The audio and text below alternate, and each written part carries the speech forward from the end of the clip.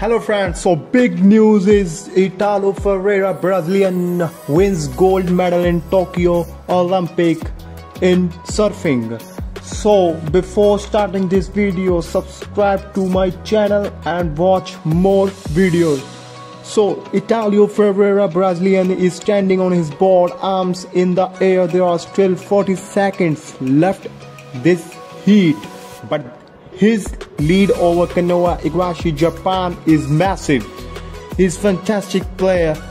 Ferreira, the current WSL champion. Now he's just became the irregular Olympic champion in men's surfing.